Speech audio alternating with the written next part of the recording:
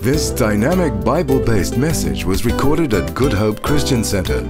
Now, let's listen to this exciting, Holy Spirit inspired message.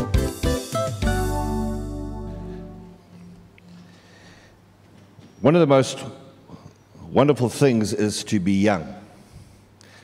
Let me hear amen. And one of the things when you come into church, people have this idea that you need to be, you're young, but you need to be old. You need to act old, you need to be old, and that's why people get old quickly, is because they don't think that they don't have this young um, expression of themselves anymore. And I'm not talking about being mature or anything else, I'm just saying that they lose their joy of being young. And it doesn't matter how old you are, inside of your head, you still think you're 18. And that's a wonderful thing to be because your body does, when you go to the gym, your body tells you you're not 18. You are not, definitely not. Because what you could push at 18, you can't push now.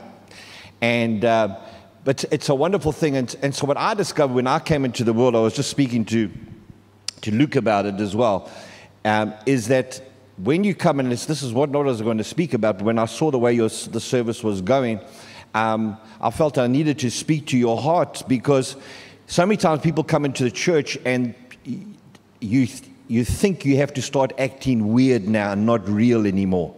And there's this uh, pressure sometimes that it, it might be actual pressure or might just be in your mind that you have to become perfect, that you have to become pure. Holiness in the Bible doesn't mean to be pure, holiness means that you separate yourself from the world and unto God.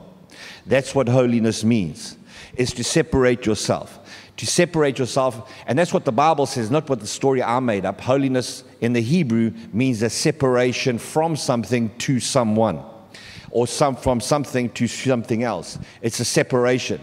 And it doesn't mean you have to get all weird and spooky spiritual. And so, so many times we can do that. And when the presence of the Holy Spirit comes as well, it doesn't mean it's all like spooky and weird.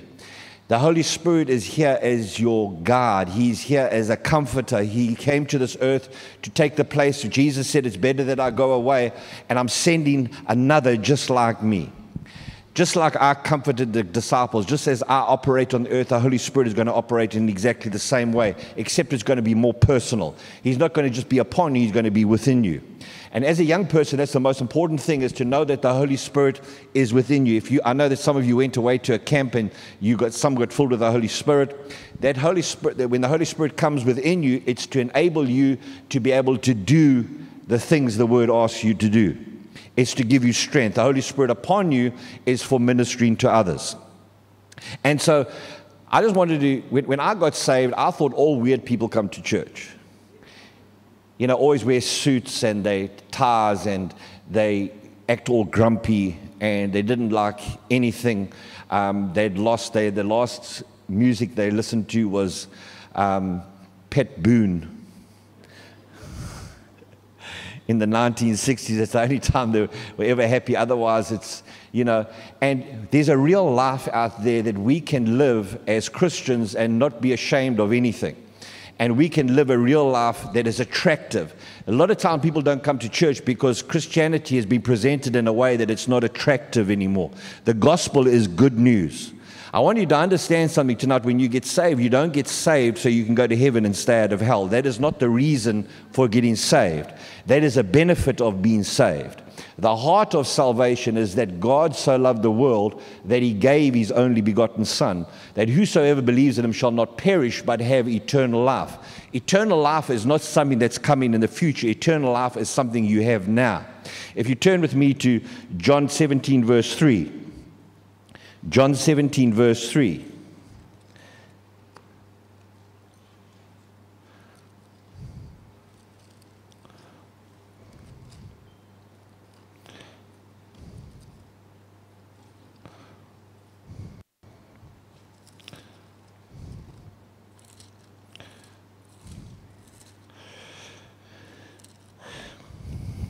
Now, Jesus was, uh, when Jesus had spoken these things, he lifted up his eyes and he began to pray to the Father.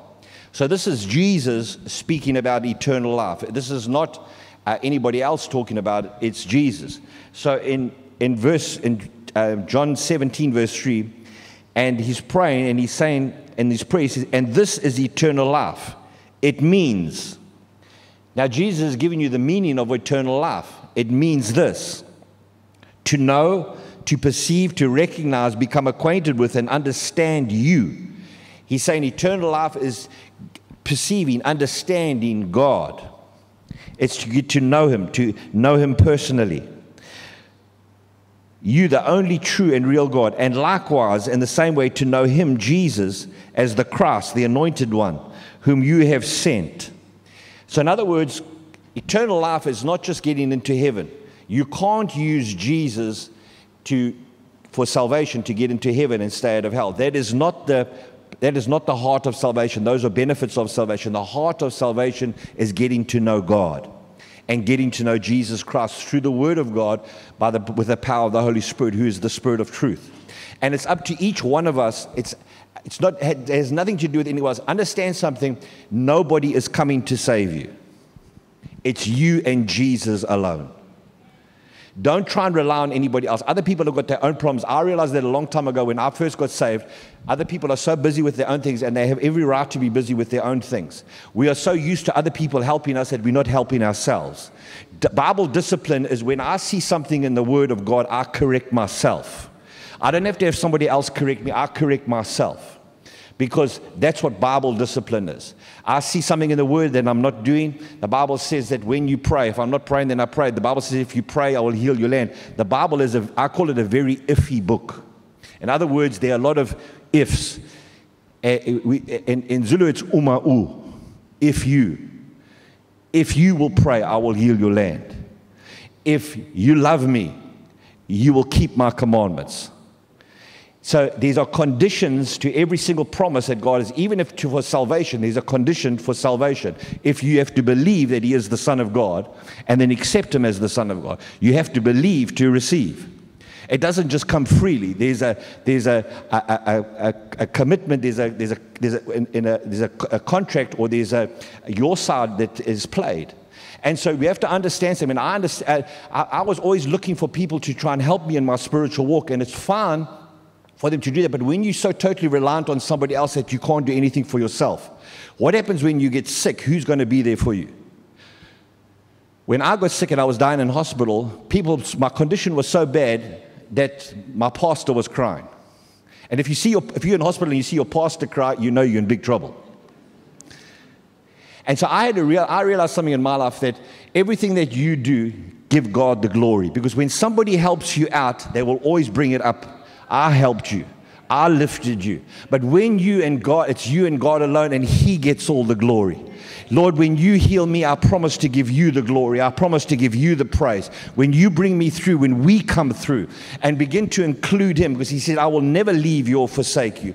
And our church at home, we never ever say, Holy Spirit, uh, say, Holy Spirit, will you manifest yourself or be here? Because the, Holy, the Bible says that He's already there. He never leaves us or forsakes us. So wherever you are, you have the Holy Spirit within you and upon you. He's there all the time. There's an unction on the inside of you. When the Holy Spirit comes, He doesn't go and come. You might feel like that. Sometimes when you go to a meeting, you might feel the presence of the Holy Spirit, but He's it's just that your, your body has, is adapting to it or you feel it. But the, the Holy Spirit is there whether you feel Him or not. And we need to understand that we, in this world today, we are so dependent on feelings. I want to feel something. I, I, I want to know something. I, if I don't feel it, then it can't be real. And that's a lie of the devil because God is said, I'm with you, I'll be with you, I will never leave you, I will never forsake you. And so by faith, I, I take that, I accept that God said that, I, I know that He cannot lie and He cannot fail. And if He said that, then He's there, whether I feel it or not. That's what faith is. Faith is not if, you, if, if faith is not working if you're feeling something. Faith is no feeling. There's no feeling to faith. Faith accepts God's raw word and says, You said it, I believe it, that settles it. I don't care what I feel. I'm going to go because you said that lay hands upon the sick. I lay hands upon the sick because God said, lay hands upon the sick and they shall recover. Every time I lay hands upon the sick, I expect them to be healed.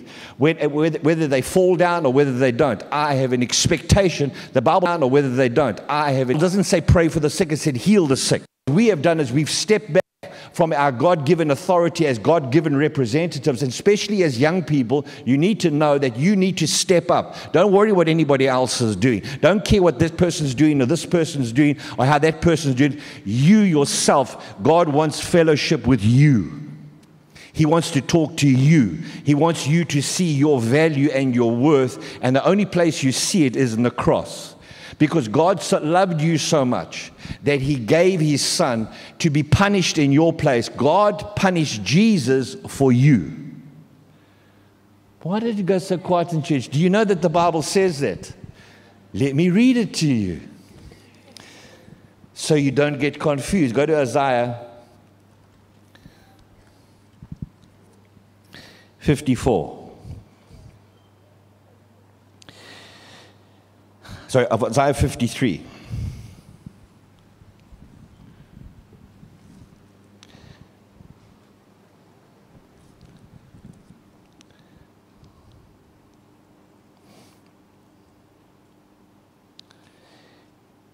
Isaiah 53, verse 10. Yet it was the will of the Lord to bruise him. He was, has put him to grief and made him sick. When you and he make his life an offering for sin. And he has risen from the dead in time to pass, and he shall see the, his spiritual offspring. He shall prolong his days, and the will and the pleasure of the Lord shall prosper in his hand. The Bible says it was the will of the Lord to bruise him. So, who punished Jesus for your sin? Have you ever thought about who punished Jesus? Do you know that Jesus went to hell? What did he do in hell? Why did he go to hell? You see, he had to take a body like we have because he couldn't, he couldn't take a sin upon himself as God. And so he had, he had a body that was prepared for him. He grew up in our, in our world, so he knows exactly what it's like to be you. He never sinned. He was tempted in all ways, but never sinned. And so he was perfect. And only someone that is perfect could take his sin, your sin and my sin upon himself, his, your sickness and my sickness upon himself. And he took the sin upon himself. He said he took it off you and he placed it on himself. He took your sickness and placed it on himself. Your, your disease, your, your sin, this, every single sin that you've done or ever going to do was placed upon him. The sin from the beginning of time until the end of time was placed upon him.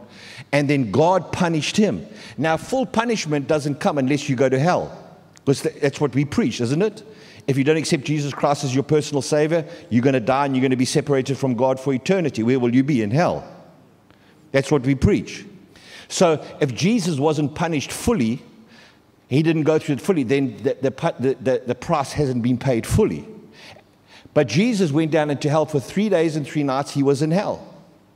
Then the courts of justice said, Enough is enough. And God raised him up by the power of the Holy Spirit.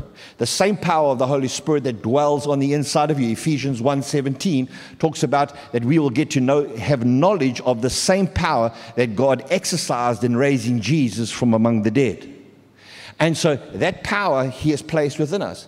But your sins have been totally paid for. They weren't just covered, they were washed away.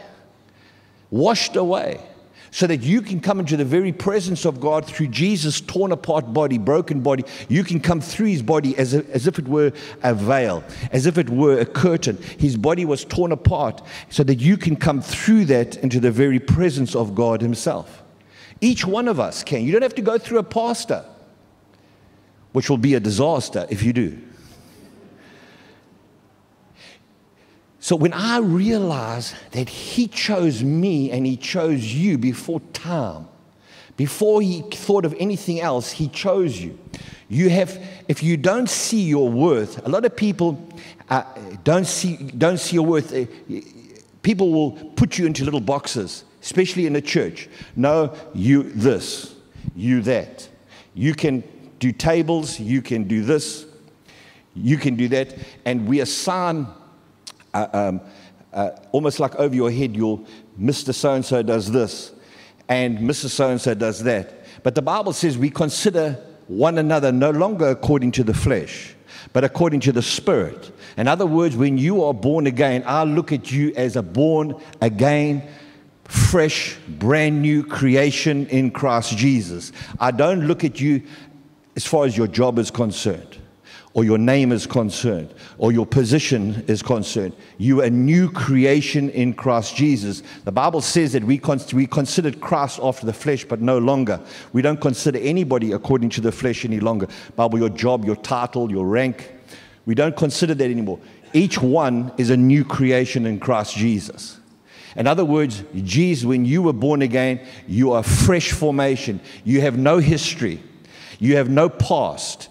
Just as a newborn baby is born, you are born again into this world. And the, the, one of the tricks of the devil is to keep bringing up your past and to bring shame to your past or guilt for your past. And people would say to me, Llewellyn, remember when you did this? I said, No, I don't. That Llewellyn died. Have, there has to be inside of your mind a single thought where you break away from your past. Only you can do that. No pastor can help you with it. Nobody. You have to renew your mind to start thinking like a new creation. And that new creation has been given the, the absolute um, authority to come into the presence of God.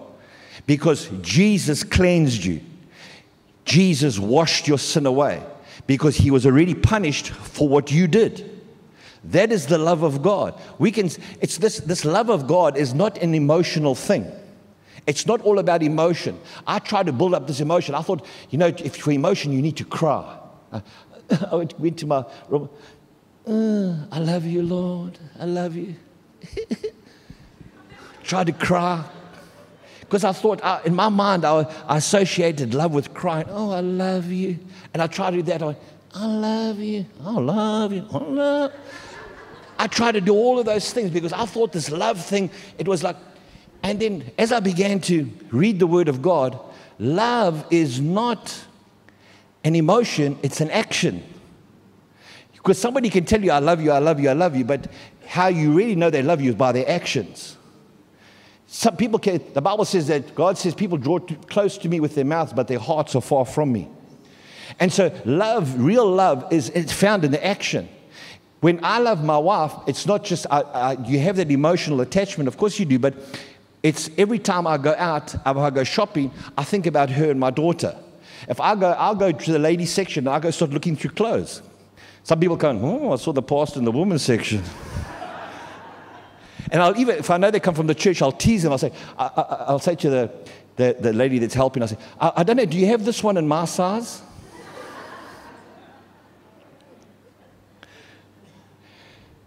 Because what happens is when you realize you have value, your value is seen in the cross. Your value is seen in what Jesus sacrificed, what God sacrificed for you. And when you realize your worth and your value, then, only then, will you ever step out in the authority that God has given you the authority to tread upon serpents and scorpions, the authority to bind spirits and cast out devils, the authority. Because if you have no value, you don't feel any value, you won't walk in authority. And so you need to know your value. And so the Bible shows you, and I want to show this to you tonight, your value. This is where your value. Turn to me to Ephesians 1. I love Ephesians because Ephesians was written in the past tense. Ephesians was written about what God has already done. We have this idea that God is going to do something. No, God has done everything He needs to do, is already done. Every need you ever have right now, you will ever have, has already been met. It's already done. You have been blessed. We have been blessed with every spiritual blessing in heavenly places through Christ Jesus. So, in other words, your blessings are waiting there for you. Every single blessing has already been provided. It's like you, like when I go shopping, I, I, know what Sylvia likes and I know what Abigail likes for in the cupboard for food, and so I'll go and buy all of that, and it's in the cupboard. So if she wants, if Abigail wants a biscuit, she say, all she does is she "Dad, can I have a biscuit?" I say, "Sure, it's in the cupboard."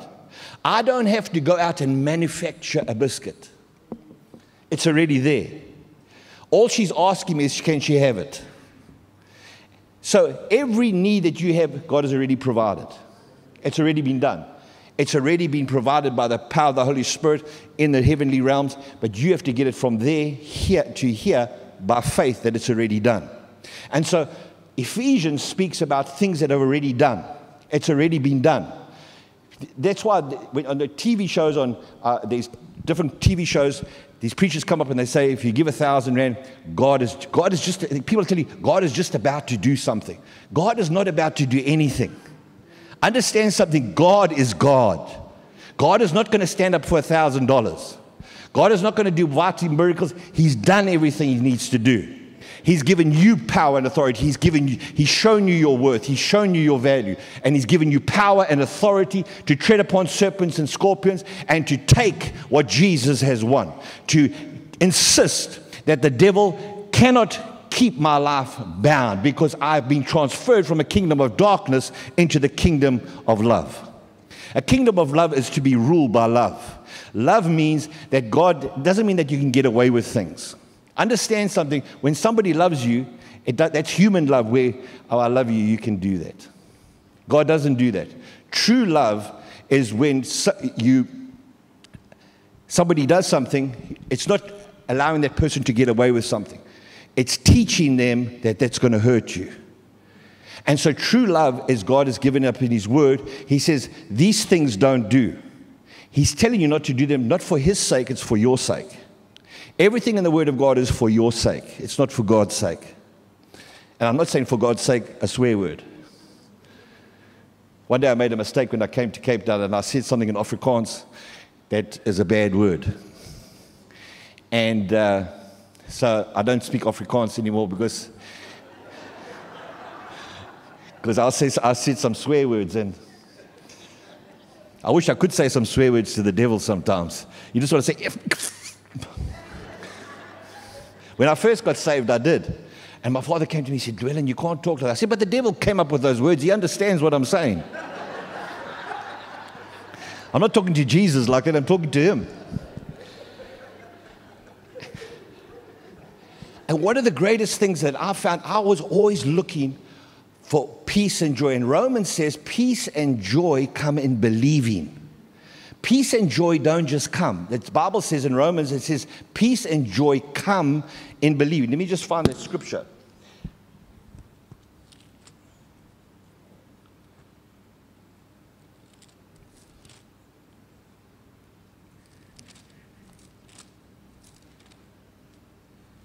It says here in Romans 15, verse 13 May the God of your hope so fill you with all joy and peace in believing So, peace and joy come in believing. What do you believe? What God has said is the truth, that you have been blessed. If you know you have been blessed, then there's peace, there's joy. All you have to do is move it from one place to the other. You've already been blessed. So, all you do is thank Him for what He's done. When, when Abigail goes to the cupboard to take the biscuit out that I bought a long time ago, it's already been provided for her. All she does is say thank you. And as a parent, that's all you want. And so peace and joy doesn't just come. So people are praying, oh Lord, give me peace, give me peace. The Bible says peace and joy come in believing. What do you believe? That your, your needs have already been met. You believe what Jesus has said is the truth. You believe that. And so joy and peace come because if you don't believe, worry comes. The other side of peace and joy is worry. And so, but the most important thing as a young person or any person, I had to realize something that I have value because when I got saved, people said, You have no value. You're 40 years old. The children of Israel were in the desert for 40 years, and then God killed them all. That was my introduction. I was so excited when I first got to church. I used to cheers Jesus in the communion time. The cup came, cheers Jesus. No, don't do that. This is a holy time.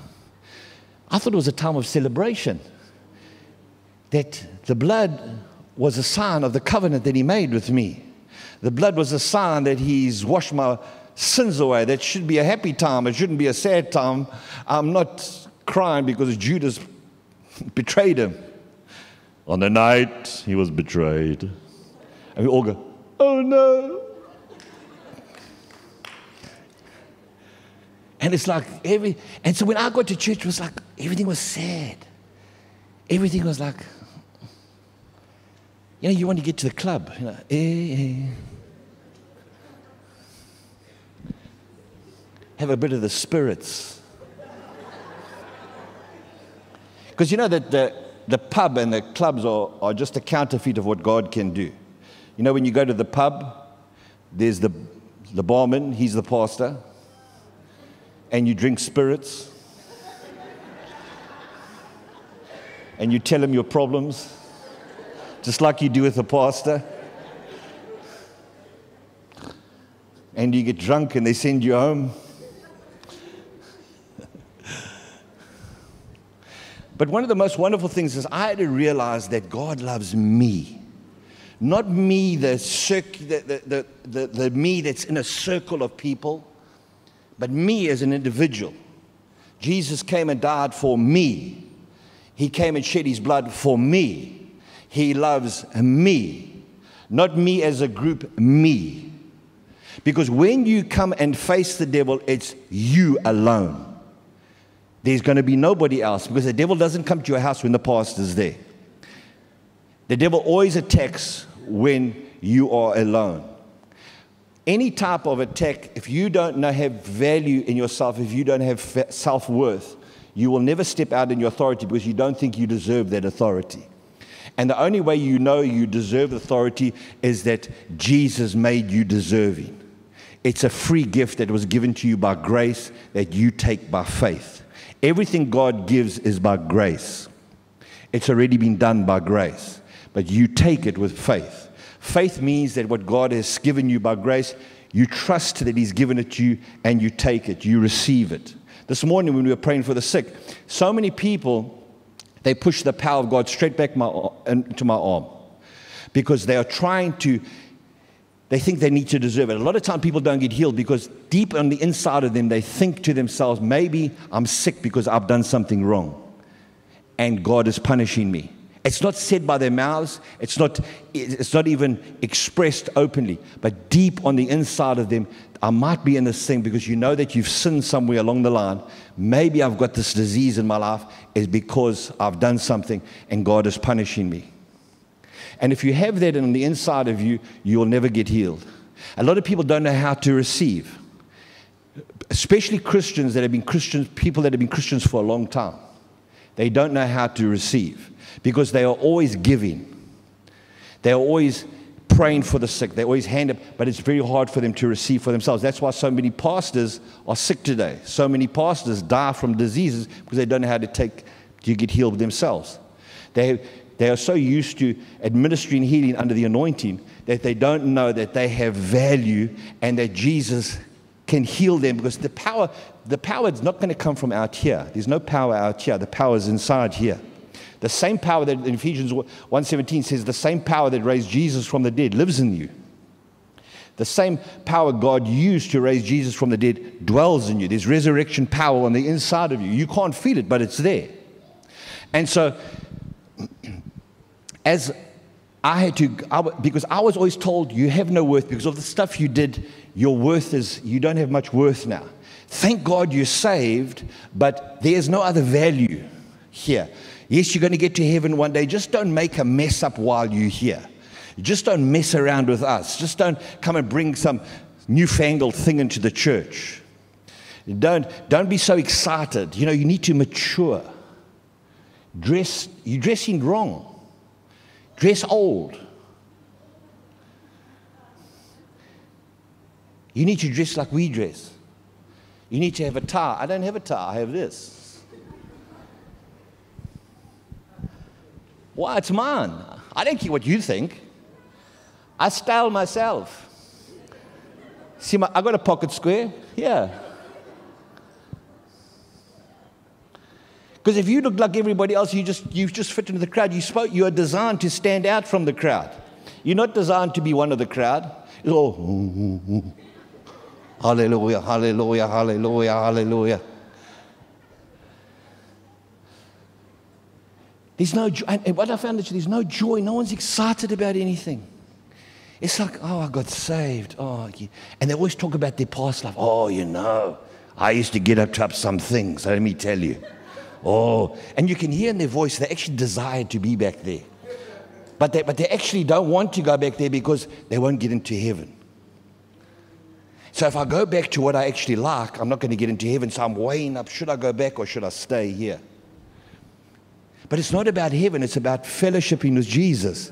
It's about knowing Jesus because you can't get into heaven without knowing him.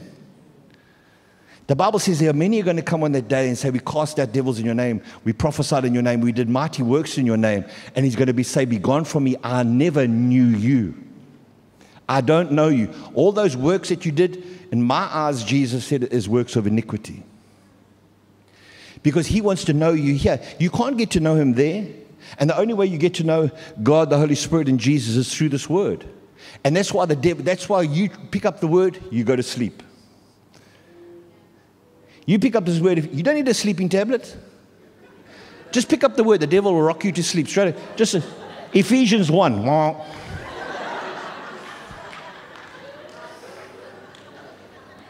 Now you're laughing because you know it's true.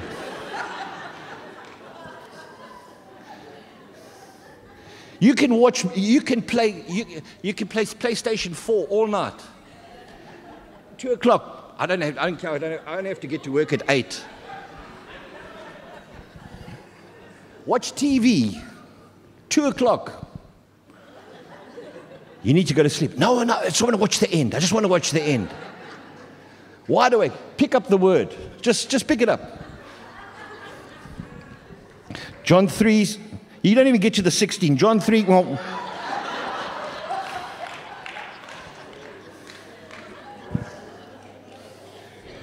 because the devil knows if you get this word inside of you, you become powerful you become something that is dangerous to his kingdom. Because this word shows you your value, it shows you your worth. And so, Ephesians, in Ephesians 1, it says, May the blessing be to God the Father, our Lord Jesus Christ, who has blessed us in Christ with every spiritual blessing given by the Holy Spirit, even as in his love he chose us. Why did He choose me? My question always, why did you choose me? Out of all the people in this world, I'm the one that feels the way I do. I'm, I'm, I'm the one that thinks the way I do. Why do you choose me? Why did you choose me? And so, when, he, when I began to read this word, it says, even in his love, he chose us, actually picked us out for himself as his own in Christ before the foundation of the earth, he picked you. Many of us know what it's, what it's like not to be picked. When you go and play soccer in the field, and they know you don't know how to play soccer. I, I used to play rugby, and all I had, well, I, I wanted to play soccer, and my father, and the old, when I was young, which is in the dinosaur days, they used to have different boots for rugby and for soccer. Rugby boots had, used to have like a big knob on the front, and they used to be up to here. And I used to play fullback. I never kicked the ball once, but people many times. The striker would come running down. I just forget the ball. I just boot him. Boom. He only ran down my side once. The rest of the game, he played the other side. And so I was never chosen because I had rugby boots on playing soccer. But you know what it's like to not feel chosen. You're not being chosen. You, you get together with a group of people and they, they're picking sides and they say, okay, we'll pick you. And if you get picked first, then you know you're sort of like on the top. And then you get picked second, you're still up there, you know. And you and the first one, the first one, they stand and look at each other. Mm. And you standing there with your rugby boots on playing soccer. And they leave you till last, and they have to pick you. And then they discuss it openly. Do you want him? What you want? Uh, uh, I don't want him. Last time we chose him, look at my legs. Last time we chose him, he booted me. But when God chose me before he laid out the foundations of the earth, he picked me out for himself. He didn't pick me for any other reason, he picked me out for himself. He said, I want him. Before time, I want him for this time. Before time, I want him for this time. And that's what he did for you. You see, all of our lives are different. We all brought up different ways. And our lifestyles is not all the same. We've been picked for different, re- we, we, we, we come up in different ways. And sometimes we feel that we have never ever have worth because we've done nothing. We haven't accomplished anything. And people are always talking about how wonderful their kids are. And they put them on Facebook and my child just won Victor Ladalorum. I know it's Victor Ladorum or whatever it is. Victor La something. And how wonderful my child is. And all the children are standing there and they got the, and your child just can barely eat, you know, just doesn't even know where the knife and fork is, you know, it's just like, uh, uh, uh. And as the kids, same age, they're just all bright and they're talking Bible English, you know. Hallelujah, God saith. And they're only like four years old, you know, they're talking all this language, and your child can barely grunt, oh, oh, oh, oh.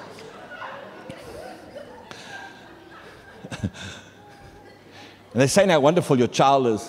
And they're giving, and then they, they're presenting their children with, and I'm not knocking you if, if I'm talking about you. Don't understand, I'm not knocking you. But when you do, when you do that and you look at your child, it's, it's like, this child can barely lift a fork.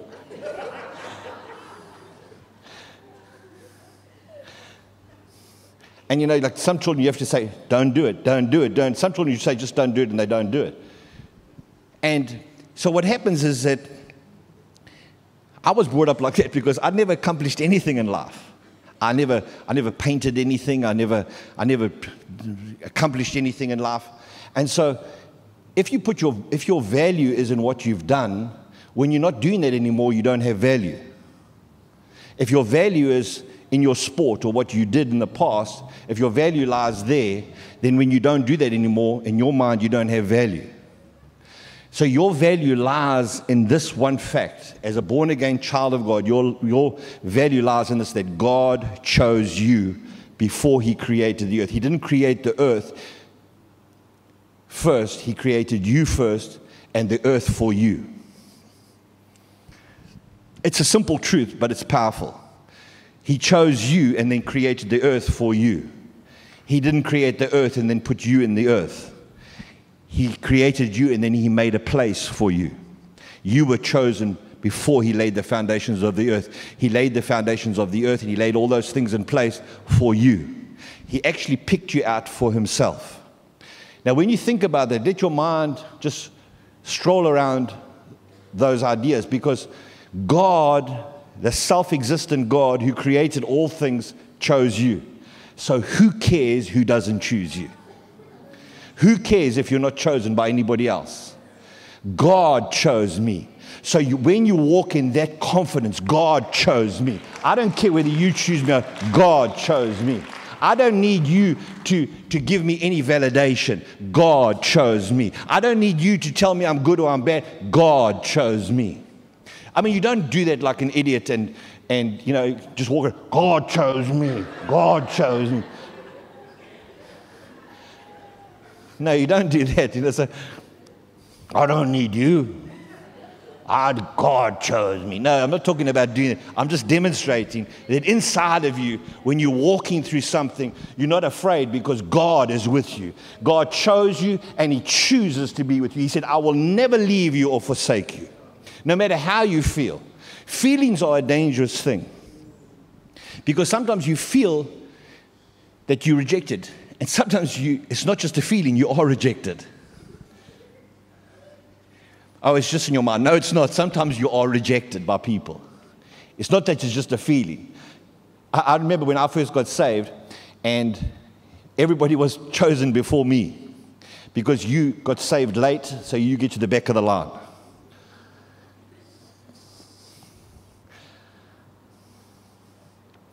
And my, my, father used to do is because I was his son, he would never ever give me special permission. I always had to start at the bottom, which you should do. You shouldn't get special place in the ministry because you're the pastor's son. And all the pastors, other pastors that were there, they used to laugh at me when I first got saved. Was I used to be cleaning the trucks and going to pick up food and looking after the alcoholics and drug addicts and getting up at five o'clock in the morning and looking after them. And I loved doing it.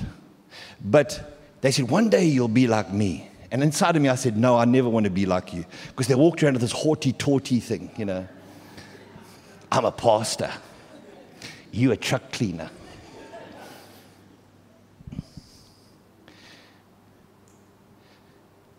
I had to realize my own. That's why I said nobody's coming, because if you don't realize, understand something very clearly in your mind, that it's you and God, and you don't need anybody else. You don't need validation from anybody else. God chose you. I love that when in, in, the, in the actual Greek it says, God personally picked you out for himself. So you've been picked by God. I want you. So, how you remind yourself of that when you get home tonight, lift up your shirt and see your belly button. God said, I chose you. I chose you. I chose you. So, every time you look at your belly button, that's indentation, God's finger said, I chose you.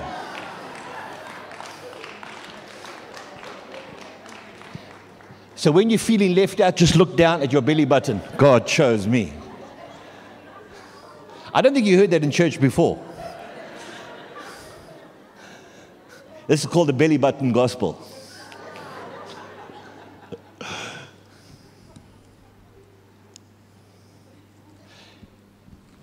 So God personally picked you out, even in His love. In His love. His love, He chose you. His love, He chose you. His love. And Paul said, goes on later and he says, We believe the love. We believe the love, that action of love. We believe the action of love. In, in relationships, people tell you they love you all the time. Girls, you know this, and guys. Somebody can say, I love you, but they can have six girlfriends. They don't love you, they lust you. There's a big thing. They just want one, they don't want one, they want more than one. That's not love. I, I, we counsel people all the time. As one girl came and counseling, and she was going out to the drug dealer. And I used to be in drugs, so I know what drug dealers do. So she said, Oh, I love this guy. And what do you think? I said, Tell him to come and see me. So I said, Because he doesn't just have one girlfriend, he's got more than one girlfriend. If he's a good drug dealer, he has more than one girlfriend. Because you've got to, have an, you've got to impress the people you're selling drugs to. You've got to be a player.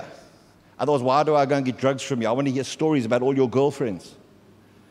Because when I come and buy drugs, I want a story as well. If I'm paying 400 bucks an ounce for Coke, I want a story that goes with it. I want hot chicks around. I'm talking from a worldly perspective now, not as a Christian. So I said to him, if, he, if, if he's, get away from him, he's got more than one girlfriend. I said, Has he, have you got his code in your phone? his, the code for his phone. Husbands and wives, if you haven't got your husband's code, there's something wrong. Oh, it got quiet in the house today. Because you should be able to go to his phone and his. Because if you ever see your husband and he's in the room and he's on his, uh, on his, on the laptop, and you walk and he goes, oh, watch it.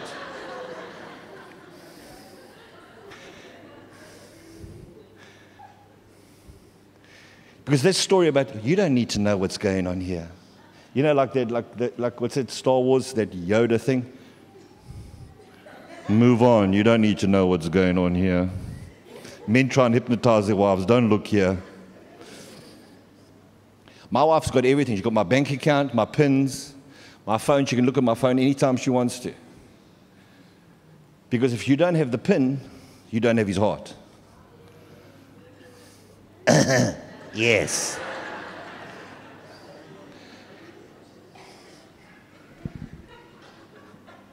So, so true. You, you can say, oh, I love you, baby. I love you. But you can't have my pin. I love you, baby.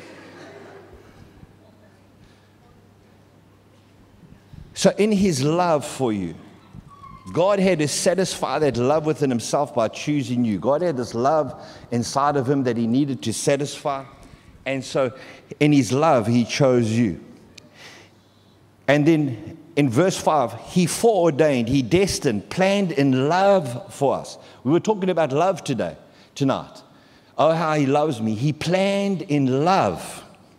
In verse 5, he foreordained, destined us, planned in love for us to be adopted to be, to be adopted is not what we think of being adopted today, where you go to a, a place and you go and adopt a child, or you adopt a dog. You know, adopt a dog. you go and get a dog, that, and you, that's not what adoption means in the Bible. The Bible means that in His love, He's revealed us as His child. There's a revelation to everybody that we are his child. That's what adopted means. It doesn't mean that he took us and he adopted us from somewhere where nobody else wanted us. In the Bible, adoption means to be revealed as. In his love, he revealed us as his child to the heavenlies, to heaven, to the angels, to principalities and powers. This is my child. That's why you get so attacked. Because God is saying, This is my child. You know that people don't like tattoos but God's, your name is tattooed in his hand. The Bible says that your name is tattooed. Tattooed. Indelible ink. So he holds it, he says, Have you seen my child? I chose this one before time began. Everybody he sees in heaven, he says, Look at the picture. Indelible ink. In other words, it can't be written out. Do you know that Jesus is tattooed? Ooh. Bible says when he comes, Jesus Christ, Son of God, tattooed on his leg.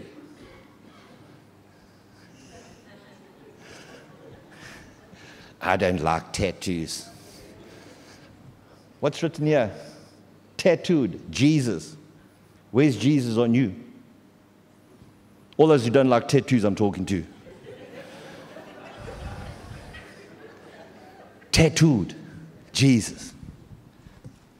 Tattooed cross of thorns, tattooed, tougher than hell, tattooed. Secrets of God. Secrets of God. Tattooed. A warrior doing the victory dance before the battle. Hey!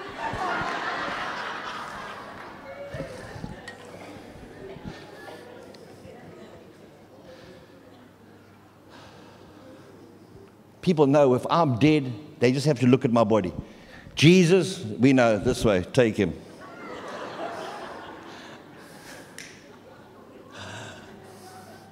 I'm just playing with you guys. Don't get all excited and say, I don't want my children, I don't want to have my daughter tattooed either. But these helped me. When I first got saved, I was tattooed because I was so alone. Nobody wanted, no Christian wanted anything to do with me. I'm including people in my family, because I was so bad. I hurt my family so badly. I hurt my sisters. I hurt my mother and father. I stole from them. They put their purse down. I could steal out of a purse so quick, that the money would be out and closed in seconds.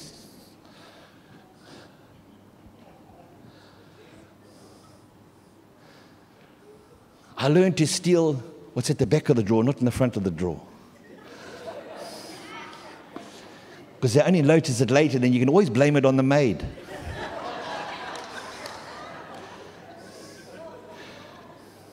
Some of you guys say, don't tell me any more secrets. I, have been doing this for a long time. I, I, I found out how my father's safe works. You just take, you know, the woman's face powder, the brush, and you put it on the keys and you can see which keys have been used. And then you just try those different combinations until it boop.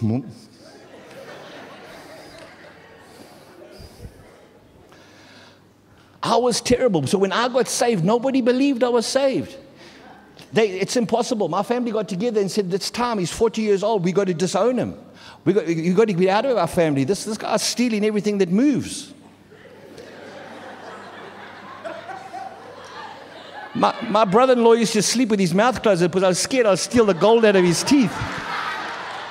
Don't tell him I told you.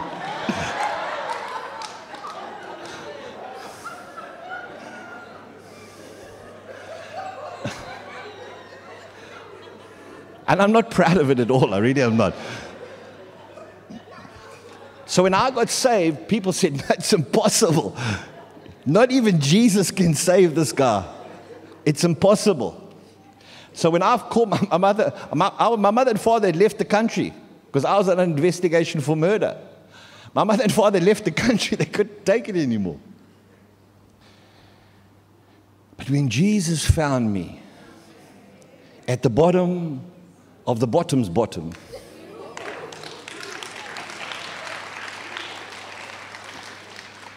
People had got tired of the same old story. But when Jesus found me, and I realized He first loved me, we didn't love Him, the Bible says, He first loved us. Even when we were lost in sin, He loved us and gave His life for us. And so when I got saved, I, and, I'm, I'm, not, I'm not trying to soften anything about myself. I was guilty as guilty can be. I did the wrong thing. And I would always promise I wouldn't do that again. I would always promise this and that. And I made excuses for why I did it. My father wasn't around for me. My mother wasn't there for me. This person wasn't there. This person did this and this person did that. No, you've got to live your life and you can't live it by living by excuses of what other people do. This person did that, so therefore I'm doing this. I used to fall into that. Somebody used to hurt me, I used to go and get drunk and hurt myself. And I get into that whole thing. And so when I got saved, everybody said, It's impossible that he's saved. And so, what I had to do, and I thank God for this every single day that nobody helped me. I thank God for it. Because what it did was get me to go into my room, lock myself in that room, and get close with God. I just, I took the word, I put it on a, cassette tape, and I took the word and I listened to it. And I listened to it, and I listened to it. And I know about falling asleep because I went to sleep. But I said, I don't care. I'm going to get this word inside of me, whether I have to force it in. And I'd put the tape on and I'd read it. If my eyes closed, I would listen to the tape. When the tape clicked off, I'd turn the tape over. When I woke up, I'd read the word again. Because the Bible says faith comes by hearing, not by reading the word. You need to read the word aloud to yourself. If you fall asleep, put the word on. Every single night of my life, I go to sleep with the word playing. You can go into YouTube and you can listen to the Psalms. It's free. Don't go to sleep with the news playing. Fox. Christians love Fox. Fox TV. I don't know about in South Africa, but in America, everybody's watching Fox. The president is so wonderful. Trump. Trump. All the Christians in the office. He is not a Christian. He's not. He's just bluffing everybody. He knows he's going to get votes. oh, I'm stepping on some toes tonight. That's a good politician. See, I was a good, when I, I promise you, I, I stole a lot of money. I know a good con man when I see one. You just play the political, you play the patriotic flag. You love the Christians, put prayer back in schools. Christians will love you and vote for you. And you making money all the time. He's a money maker. That's his job. But when I had to, I had to realize something that I, I joke about all those things and I don't really care. I, have never watched the news. I never watch the news. People said, You know, there's an earthquake. I said, No, I didn't know that.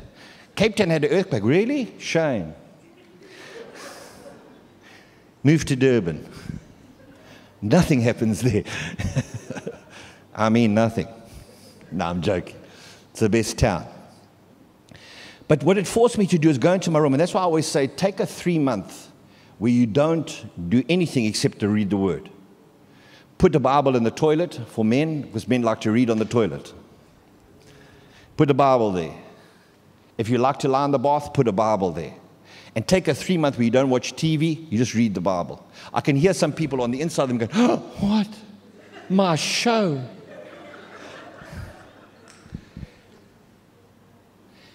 And it forced me because I, I, used to get, I got so excited because God started dealing with me personally. I began to see God from a totally different perspective, not through other people's words, but through the Holy Spirit. The Spirit of truth began to reveal who God is to me on a personal level.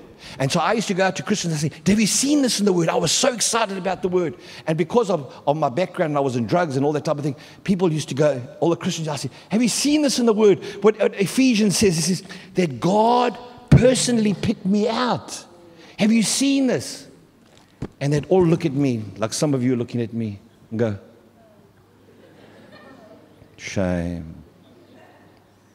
Shame. See, a lot of people know the word, but they don't live the word. They know what the Bible says, but they don't live in their truth. And so I had, it's the greatest thing is, is when pastor doesn't come visit you, don't worry. People get so upset when the pastor doesn't come and visit. The pa- well, they're not having any program at the church that I need to lead, lead the word, read the word, and so I'm not reading the word because they don't have a program at the church. No, just get in the word yourself because one day you're going to stand before God yourself, by yourself, and you have to give an account of what you did in your body, not with your body, in your body. Because the real you is your spirit and your soul that lives inside of you that's going to live forever.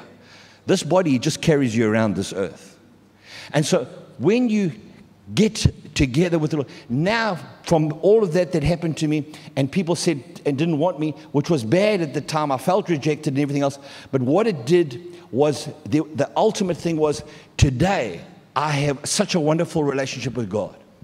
I never ever go and say, I need something.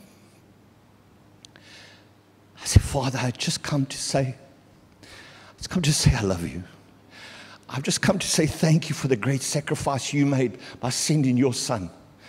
Thank you, Jesus, for coming. Thank you for allowing yourself to become my sin so that I can have your righteousness. I just want to thank you.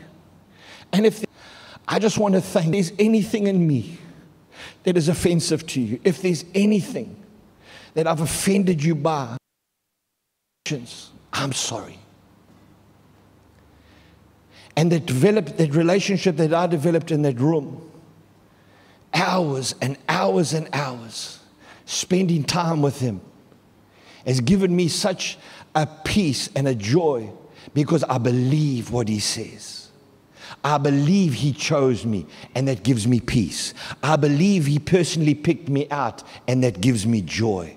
Because the Bible says peace and joy come in believing what God has said. So I want you just to take Ephesians, go right through Ephesians. I've just started to tell you your value. People have told you that you're no good, you're not the right color, you're not, some, some people said you're not white, you're not black, you're stuck in between. People have said terrible things. I, spoke about this morning. There, there, there's curses that have come upon uh, uh, uh cultures, and especially amongst whites, because of the terrible uh, uh, uh, attitudes that have, that have come. Apartheid is simply pride, and that's one sin that God hates more than any other is pride. That you think you're better than anybody else, and so you won't fellowship with anybody else. Apartheid can be not just the color of your skin, but because you don't have the same job uh, as me. You, you, you might not be a, a, a executive, and, and, so I can't, I can't mess around with you. I, I can't mix with you because you, you, you're not on the same level as me. That's apartheid. That's pride. I have nothing in common with you. I, I, you know, you don't get invited to the, to the, to the inner sanctum because I, I, see your position in the church as only this. I, I can't fellowship with you as a new creation in Christ Jesus. Let me tell you something baby Christians can teach older Christians a lot. There's simple love for Jesus Christ, that love that's still fresh on the inside of them. I never ever want to lose that. I never want Christianity to become a form. Because when I remember that God chose me, before the foundation of this earth. He put everything in this earth for me. Right at this moment, there are diamonds being created out of coal just for me and for you. And we have to understand something that God is holy, that God is magnificent. God is not here for us, we are here for Him. He is the one that we respect, He is the one we bow to, He is the one that we reverence. We stand in awe of Him. We don't fear Him like in terror. We stand in awe when you see, the only time you ever stand in awe of God is when you see how great He is. I was watching the Blue Planet 2 that's just come out. And when you look at the magnificence of what the cameras can do now, they can go right down to the deepest part of the sea. And you see life right miles down in the ocean. There's life where they thought there was nothing, they just thought it was a desert. Now, with these special cameras, they find this life. Now, understand something that God had that life there before those cameras were created. So, God created those creatures for us to see today because the cameras are able to pick them up. Those creatures there are created for us. No one else in history has ever seen them. We can see them now because God gave men the ability to be able to go to those depths and create the cameras that can find that life so that we can see it, so we can see, recognize His greatness and we can praise Him. I was standing in Mauritius and these little fish came around my, my legs. And I felt so rejected. So rejected.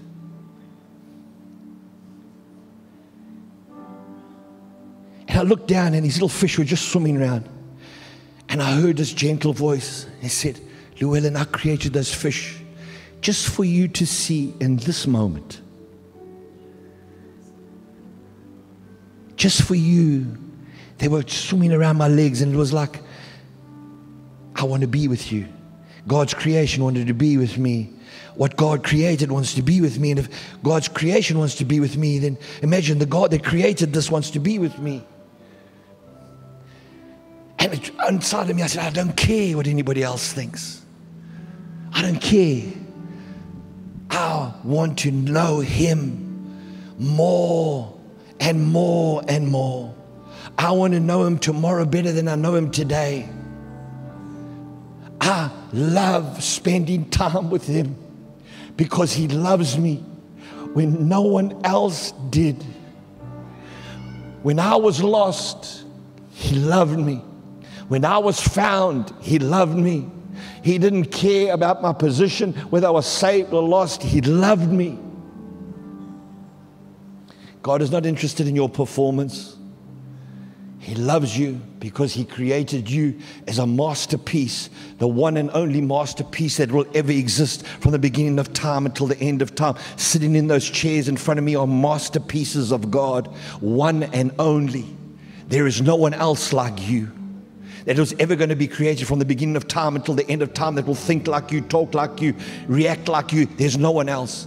God created your face. That's why you should love your face. If somebody doesn't love you, they don't don't worry about them. Because masterpieces are one.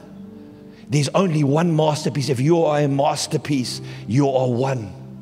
I love the other word for masterpiece. It's poetry. You are God's heavenly piece of poetry that He wrote before time. How can you not feel loved? That the Creator of all things chose you and me to fellowship with us. I think it's such a great privilege to be a Christian. I don't ever just stand up and say, Do you want to give your life to the Lord? If you don't give your life to the Lord, you're going to hell. No. Do you want to know Him? Do you want to know Him? Not do you want to go to heaven or do you want to stay out of hell? Because those are the benefits of knowing Him. If you don't know Him, you can get saved, you can give your life to Jesus, you can go through the emotions, but if you don't know Him, it's knowing Him. It's every day falling and getting up again. It's not being perfect. It's every day seen in the Word of God what He requires from us, and you discipline yourself into becoming more and more like Jesus. becoming more and more like Him by the help of the Holy Spirit to become something. There's many falls before you accomplish anything, there's more failures before there are successes. Every great success, there was always millions of failures before there was a success. And you're going to fall. You're not going to be perfect in your walk. But every day, Paul said, leaving what's behind and stretching forth for what lies ahead. I'm moving on. I don't care how many times I go down. If I go down once, I'm standing up twice. I don't care how many times you go down, stand up again. Get rid of your sad sob story. Nobody's interested. I promise you, I've had the best sad stories in my life. Nobody's interested. You got to take care of yourself. Because if you don't love yourself, you'll never love anybody else. It's impossible to love others if you don't realize you have value. Because you'll always say to yourself, What can I really give them? That's why guys say, Oh, I met my wife and she's right out of my league. My wife's not out of my league, she's in my league. Everybody's, whether you're president or not, I'm, the, I'm Llewellyn. I'm not impressed by titles, I'm not impressed by anybody. I've been with the president. He came into this is a true story. I came in and they said to him, I was with Pastor Theo Wolmarans, and he's always impeccably dressed. And so he said, Is my tie, is my tie straight? I said, Let me check. And I moved it slightly because the president was coming. And I'm standing with my back to the door and I'm looking at, and I see Theo's eyes go up. And I said, He said, I'm getting, I, I need to, my tie to be straight because the president's coming. So I said, You need to ask the president if he wants to. Why are you worried about him? You getting a picture with him? He needs to ask him if he wants a picture with me. And I felt a hand on my shoulder. It was President Mbeki. And I turned around and he put his arm around me. And he said, Take a picture of us. Take a picture of us. See, when somebody thinks they're better than you, they always got that look. Just you can get into the selfie, but I'm the self. It's not a, it's not a, a selfie is not a joint thing. And titles don't impress me because I was chosen by God. Don't let people's position things impress you. You were chosen by God. You were chosen. Chosen. And God chose you to fellowship with Him, but it's up to you to choose to want to fellowship with Him. He doesn't want to force you. He doesn't say, if you don't want to fellowship with me, I'm sending you to hell. We send ourselves to hell by rejecting the love of Jesus Christ. And so you have to make up your mind whether you want to give your life to Jesus Christ or not, because you give your life to Him. It's no longer your life. You have been bought with a price, the blood of Jesus Christ. You have to decide whether you're going to give your life to Him. And you're going to say, Yes, Lord, I don't matter what, I'm going to give my life to you. I messed up my life so badly. It is an absolute honor and a privilege to be a Christian, to be able to fellowship with God on a personal level. You don't have to go to Bible school for that. You don't have to do anything. He wants to fellowship with you. But there's a price to be paid. You got to leave yourself. You got to leave all of those things and say, Jesus, I want you and I want you alone. I'm determined to fellowship with you. See, so many people can give their lives. I can preach a great message on hell and get people to become afraid and put up their hand and come and give their life to Jesus Christ, but their Christianity doesn't last. Out of all the people that got saved in my time, three of us are still saved. Not one of us ever had a pastoral visit. I'm still waiting for a pastor to visit me. But I was determined to know him. That this God that loves me, with all my faults, all my failings, all my stinkiness. He loves me. He chose me. He said, I want him, I personally want him to talk to me. You to ask yourself the question do you want that in your life? Because people people have lied so much in church that they lie from the pulpit. They say you're going to get into heaven, but you can't get into heaven just because you raised your hand in church. You go to heaven because you've given your life to Jesus freely. From your heart, you give it to Him. And it becomes you and Him. And you and Him are a warring army that can never be defeated. He'll give you power and authority to tread upon serpents and scorpions. But the most important thing he gives you is peace and joy in believing in Him. It's a peace and a joy, the Bible says, that passes all human understanding. It's a peace that settles inside of you. That it doesn't matter what you're going through, this peace. It doesn't matter what you're going through, there is joy. I'm not talking about happiness. Happiness comes when you get a lot of money and you're happy for a while or you win the lotto. That's happy. I'm talking about joy where there's an excitement on the inside of you about nothing. You wake up in the morning and you have this joy on the inside of you. It's His joy that He gives you in believing in Him. It's something that's supernatural that comes into your life. It's nobody can, you can't try to explain. It's difficult to explain, but you can wake up in the morning with no money and be joyful. You can go through a death of a loved one and be joyful. You can have tears running down your face, but still have this joy on the inside of you. And it comes in believing that you're going to see your loved one again. That they've just gone ahead to this place. I'm going to see my loved one again. I'm going to see my father again. I'm going to see them again. We do not weep like the world weeps. We do not grieve like the world grieves. We do grieve, but we don't grieve like the world who have no hope. We have a hope. We have a confident expectation that what God said is the truth, that there's a place where our loved ones are waiting for us and we will see them again.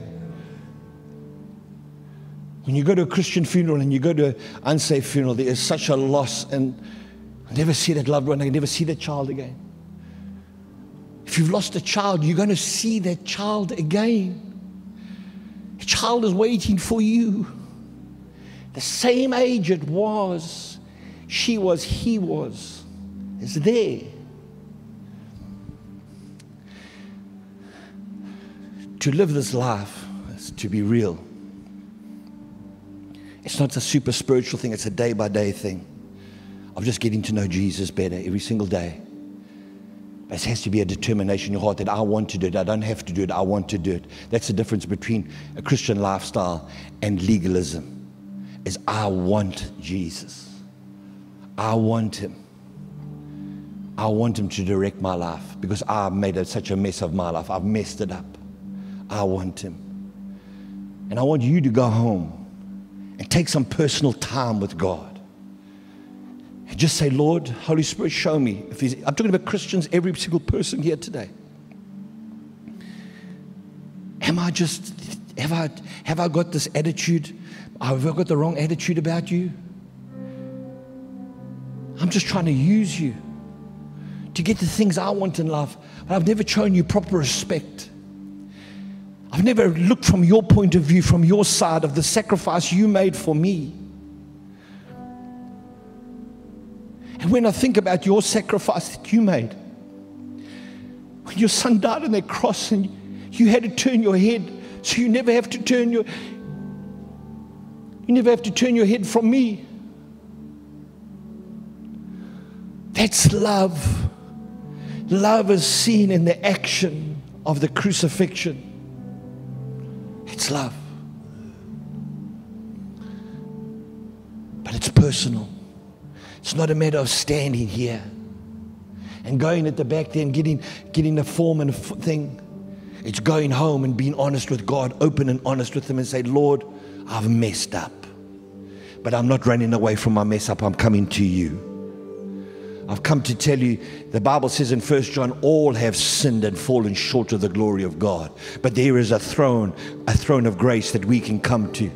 And when we confess our sins, He is faithful and just to forgive our sins and cleanse us from all unrighteousness. That is not for the unsaved, that is for Christians. Paul said, My beloved ones, my little ones, he's talking to Christians. He's not talking to the unsaved there. There's a place that we can come when we've messed up It's a place of love. It's a place of grace that we can come to and just fall and say, I messed up. I know I have. But I know that you love me and that you chose me and that you're going to keep loving me and you're going to keep choosing me and you're going to keep helping me walk this walk and getting to become like Jesus more and more and more in my life. And that's what I want. Because if you don't want Him, tell Him you don't want Him. If you don't want Him in your life, go and be the best sinner you can be. Go to hell first class. And when you get to hell, tell the devil, I'm come to take over.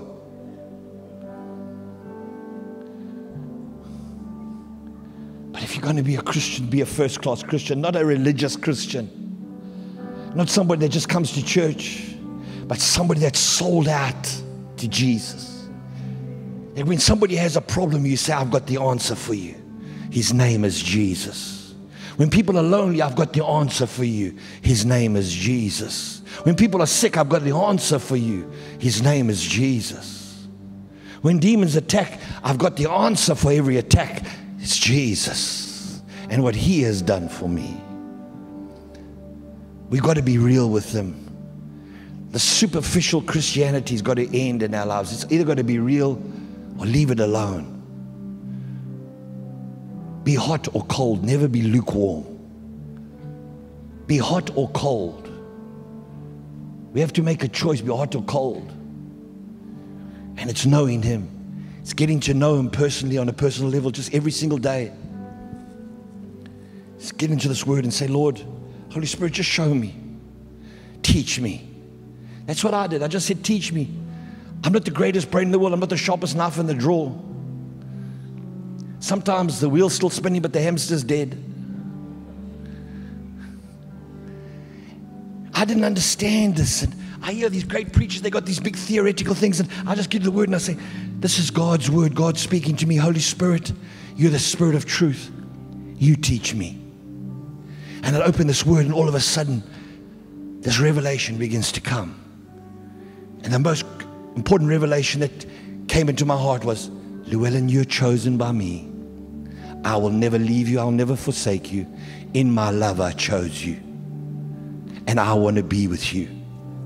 I'll wait for you to wake up because I never slumber and sleep, but you do. But when you're asleep, I look at you and I want you to wake up so I can speak with you. There's got to be that love relationship, and it only comes through you in this word. Say, well, but you're a pastor. That's, that's, that's your whole thing. I, I'm a mechanic. I'm, I'm this, I'm that. You are not your profession you are somebody that was chosen by God. And it's up to you to be cho- cho- you're chosen, but you have to choose to be chosen. You have to choose to respond. And I want you to do that tonight when you get home. Before you put on the tea and the coffee, before you eat your samosa or your koeksisters, or eat your biryani or your curry or your putu. Say, Lord, I want to just thank you for choosing me. Reveal yourself to me through this word. And I'm telling you something. In six months, your life will change. Six months, your life will change. But you got to be prepared to put the effort in to get to know Him know somebody takes effort. In any relationships, getting to know somebody takes an effort from both sides. I want to encourage you today. He's waiting for you. Doesn't matter what you've done. Doesn't matter what you've said. He's waiting for you because he chose you. Heavenly Father, thank you for choosing us. Thank you that our peace and our joy come in believing in all that you have said and all that you have promised. I just want to thank you I just want to honor you tonight with all that I have. Thank you for loving us and choosing us. I pray that Holy Spirit reveal yourself to each and every one today. Flood the eyes of our heart with your light, the light of your revelation, so that we can know understand what you called us to. Lord, flood the eyes of our heart with your light. so we can know our inheritance among the saints. And Lord, I pray that you'll flood the eyes of our heart with your light and revelations, that we will know the power that's in us and for us because we believe in you. That same power that raised Jesus from the dead. Lord, that we would know and understand and walk in it. Walk in these spiritual blessings that you've already provided for us. I give you all the praise, the glory, and honor. Only you are worthy of it. In Jesus' name, amen and amen. We hope you've been blessed by this anointed message. For information on other Good Hope Christian Center CDs and products, call 021 703 9400 or write to Good Hope Christian Center, corner of Panton and Plantation Roads, Ottery 7800 or visit our website at www.ghcc.tv.